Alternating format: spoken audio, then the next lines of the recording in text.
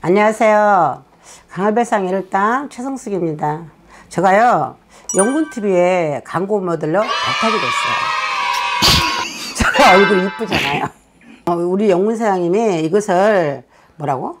공동구매 아니, 그거 말고, 서프라이트? 서큘레이터 서프라이트?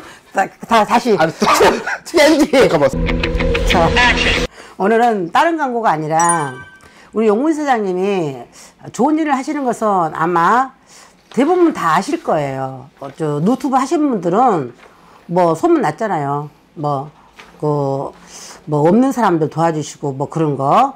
할머니들이 일, 일하실 때 그리고 또 어르신들 그냥 이렇게 시장 가실 때 이거 들고 가셔도 얼마든지 좋잖아요. 근데 우리 용 사장님께서 이거 파시는 목적이 돈이 뭐, 뭐 돈을 남겨서 그런 게 아니라 하도 이렇게 구독자분들이 어려우신 분들을 많이 보다 보니까 본인 스스로가 아이디어를 내신 거예요. 그래서 이것을 우리 용 사장님께서 공동 구매를 하셔서 어려운 사람들 정말 힘들고 어, 우리가 저희들도 점사를 봤을 때 막 수술을 못한 아이들 뭐 어르신들 그분들을 많은데 아마 이걸 팔아서 우리 용 사장님이 소득 금액의 한 10%를 어다 돌려드린답니다. 그분들한테. 그래서 좋은 일을 하시는 거잖아요. 일단요, 이거 틀어볼게요. 이게 1단. 그 다음에 조금 너무 덥다. 2단. 응? 조금 더 덥다. 이거 3단. 아우. 저 어제 빠마 했는데 어울리나요?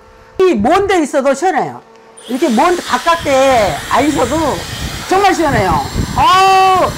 바람이 산소. 음, 이용해, 이용해. 딱 이용해. 음, 너무 세게. 저 눈썹 붙였는데 눈썹이 날라가, 휘날려가지고. 보이시죠? 눈썹이 지금 날라다녀요. 눈썹 떨어져요. 너무 세게, 왜, 너무 세서. 일단은 줄일게요. 어, 이거 정말로 이 선전이 아니라 진짜 이거 세네. 눈썹이 막 하늘로 날아다니는 것 같아. 그리고 너무 기분이 상쾌해.